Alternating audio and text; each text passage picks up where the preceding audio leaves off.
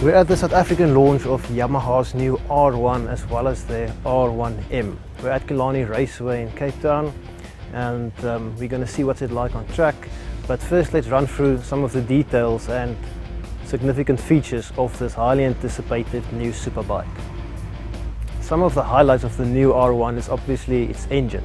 Compression ratio is up from 12.7 to just over 13 Obviously it's still a cross plane crankshaft engine and that gives you that signature deep grumbling sound.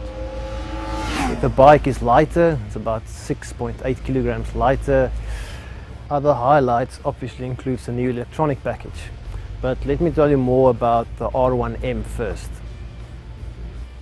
To set the M model apart from the R1, it's got very trick Öhlin electronic suspension it's got a data logger as well as some carbon fiber parts. And for visual effect, there's an aluminium, brushed aluminium swing arm as well as a brushed aluminium fuel tank.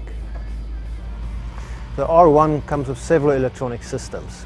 These for instance include adaptive traction slide and lift control.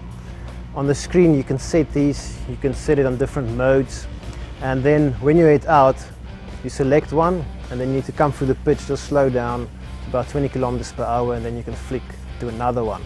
So on the track, this is where it really works very well.